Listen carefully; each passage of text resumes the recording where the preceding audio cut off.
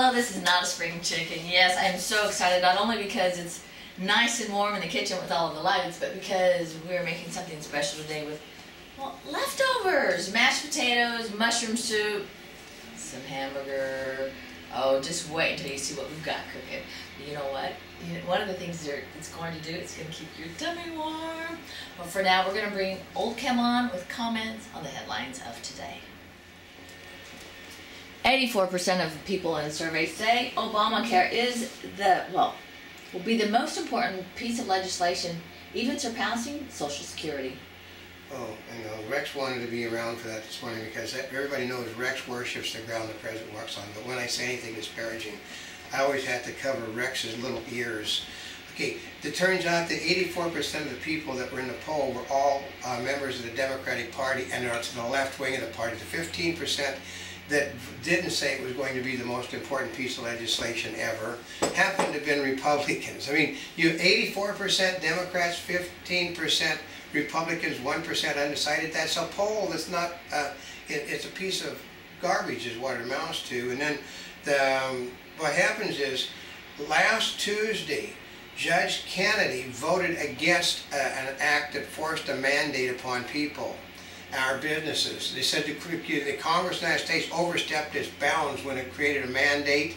And so it is logical that if last Tuesday he said the government overstepped its bounds with one mandate, they overstepped their bounds on all mandates. Mm -hmm. And SEC takes Wells Fargo to court to enforce subpoenas. Well, yeah, because Obama wants to crush every bank in the country. See, Wells Fargo didn't borrow money from the president. Mm. And therefore, he wants them under his thumb also. So he's basically trying to bust the company uh, with uh, lots of subpoenas against it.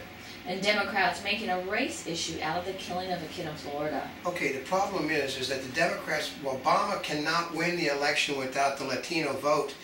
They have decided that the Latino that did the killing happens to be a white racist. What? Yeah, they're trying to frame it that he's a white racist the Latinos all know he's a Latino, folks. Mm. So they're trying to, you know, basically they're pissed off about the fact, and they're all all of a sudden now he seems to have witnesses to his effect, and he is demand his people are demanding that the kid's court record. They said if this kid was such a bastion of of, uh, of greatness, why was he why did why was he expelled from school? Why was he hanging around on street corners? Why was he doing this? And uh, that has been neglected because the people well, Bill O'Reilly, we're going to get it, we're going to investigate, we're going to get to the end of why he, he murdered this kid. Mm -hmm. They didn't say, you know, alleged, they, they're now saying murdered on the right because they think they've got something and when the press think they have something, they beat it to death even if they don't even have anything. In France to resume election race after gunman's death. Well, yeah, uh, yeah, it stopped the race. Well, it, it, basically, it, it worked to the advantages of Sarkozy in France to have this drag on because it give him time to pressure more people. And Obama is getting tough with China and North Korea. I know, I gotta cover Rex's ear again.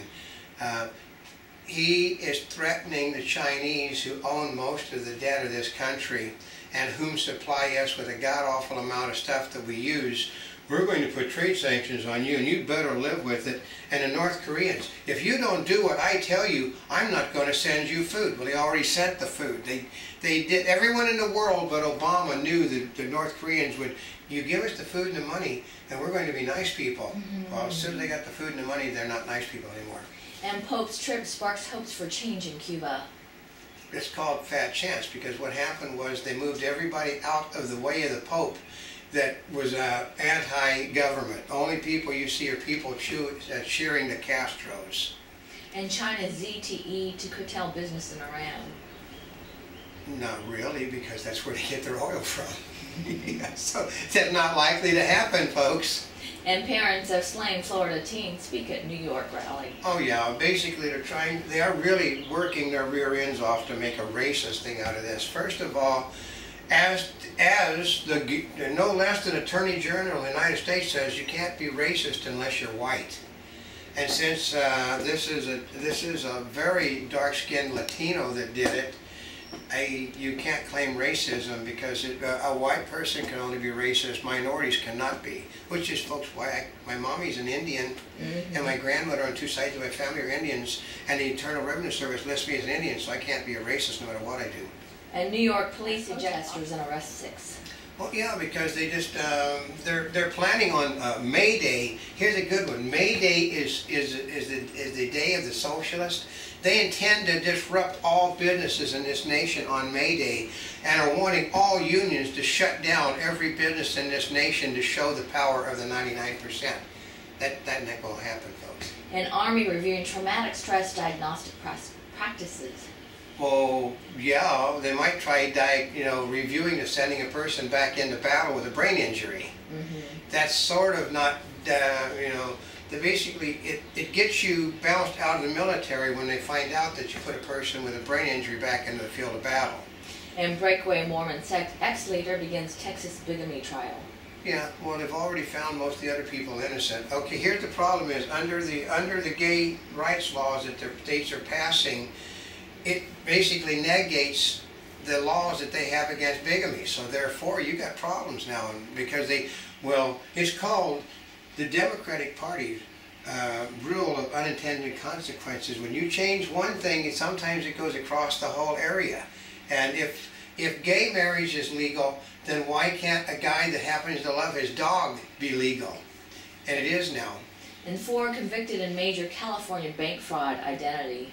Well, yeah, basically they were going, they were grabbing people's credit card receipts and all this stuff and then draining their bank accounts. Oh, really? Yep. And police arrest suspect in killing a five in San Fran- is it San, San Francisco or San Fernando home? Uh, San Fernando home.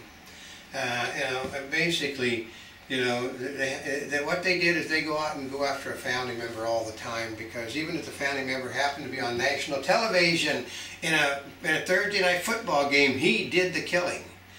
Ruined a guy's football career with that one, folks. And 7.2 magnitude earthquake rocks central Chile. Oh, God, that country gets hit with more earthquakes than you can shake a stick at. Well, I mean, it's, the, it's called the land of uh, thundering rock. And Santorum calls Romney the worst Republican to face Obama. Well, yeah, because they don't, okay, he can't take the, he, Romney's whole plan is based on, well, they have to vote for me because as bad as I am, I'm better than Obama. Well, he created the basis for Obamacare. He raised taxes multiple times in, in Massachusetts. Why do you think they threw him out as governor after one term? The people didn't want Romney care, so they booted his butt out. And churchgoers don hoodies in honor of Trayvon Martin. Okay, the problem is, is generally if you if you should if you're in a spot you shouldn't be in and you're wearing your hood over your head, it tends to make people think you're a gang member. That's a signal, folks. And vodka company apologizes for questionable ad. I wouldn't apologize to anybody. I mean, it's the only thing I agree with Bill Maher. Last week he put out a press release. He said, this is ridiculous. He said, everybody's apologizing for everything. He said, whatever happened to freedom of speech? So that's where he is right. For once, Bill Maher is actually right on something. Oh. And a key question in Penn State case who is victim two? Well, I know. Uh, okay, they now only have one victim in the Sandusky case, one, and that victim is questionable. So they, uh, if nobody else is going to come forth, it looks like they may have ruined a lot of people's lives for hearsay evidence. Well, we know this happened, but no, they weren't there. The people that all knew it were not, were never there. So. And Pennsylvania trial could unveil church practices.